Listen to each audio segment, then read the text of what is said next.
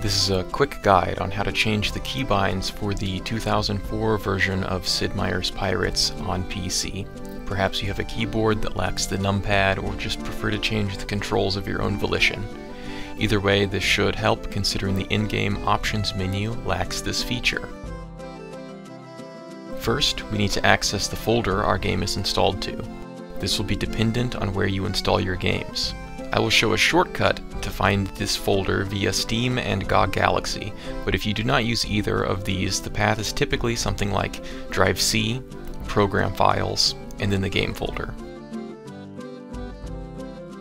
On Steam, find the game in your library, right-click on it, and scroll down to Manage, and then click Browse Local Files. On GOG, click the drop-down menu next to the play button, scroll down to Manage Installation, and then click Show Folder. From here, find the keymap.ini file. It has the icon of a piece of paper with a little cogwheel. Right-click and scroll down to Open With before choosing Notepad. From here, you can rebind the controls to your choosing as they are laid out in a fairly self-explanatory way.